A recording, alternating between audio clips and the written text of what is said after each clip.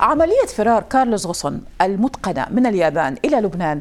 ما زالت الروايات تحاك حولها وعن الطريقة والأدوات اللوجستية التي سهلت عملية هروبه. فقد نشرت صحيفة وول ستريت جورنال تقريرا مفصلا عن عملية هروب غصن مشيرة إلى أنه تمكن من الفرار داخل صندوق أسود كبير. كهذا مخصص للآلات الموسيقية وتم استحداث ثقوب بقعره كي لا يختنق وأيضا تناقل المهتمون والمغردون والذين أعجبوا بقصة الهروب صورا تماهي وضعية كارلوس غصن في الصندوق الآلات الموسيقية. هذه الصورة كمثال عليها. شركة ياماها اليابانية المعروفة بصناعة الآلات الموسيقية والتي يعتقد أن صندوق غصن كان بحجم واحدة من آلاتها نشرت تحذيرا للناس من محاولة حشر أجسادهم داخل صناديق الآلات الموسيقية. تقول الشركة على حسابها على تويتر. هذا ما تقوله.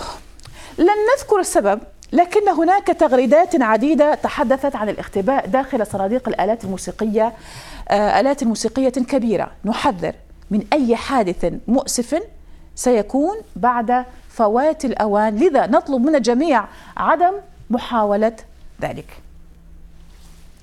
تغريدة شركة ياماها تلك أثارت سخرية وتعليقات من قبل المغردين. هنا محمد عبد الرزاق يقول مش ماشي الخبر خالص. اليابان التي تصدر أعلى أجهزة تصوير وأجهزة مسح ضوئي لم تكشف أن الموجود بالصندوق هو إنسان ولا جماد. أما عبدول فهذه تدوينته. غصن خرج بعلم ومعرفة اليابانيين. ليش نضحك على بعض؟ غصن معروف مين وراه ما يدخل شركة خسرانة إلا تتحول ربحانة واليابانيين استفادوا منه.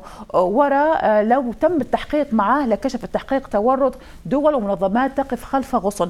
بس على غصن يتنبه لنفسه لأنه أصبح صندوق أسود لأسرار دول ومنظمات.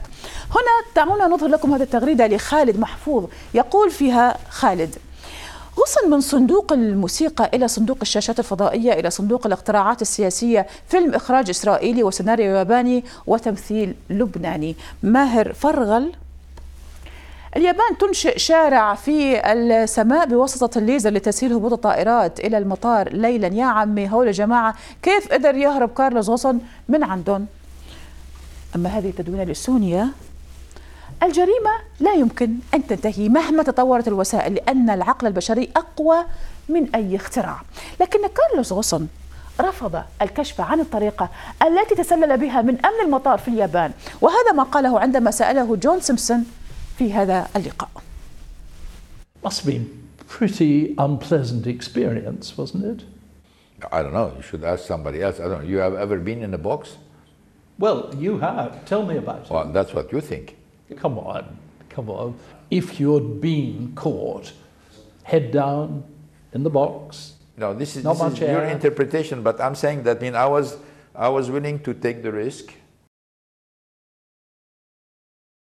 مقابلات لم تتوقف المقابلات مع كارلوس غوسون منذ مؤتمرها الصحفي وآخرها كان مقابلة له وزوجته صباح اليوم مع وكالة رويترز وعند سؤاله عن صعوبة عملية الهروب كان هذا جوابه It take many months and hundreds of people and a lot of money.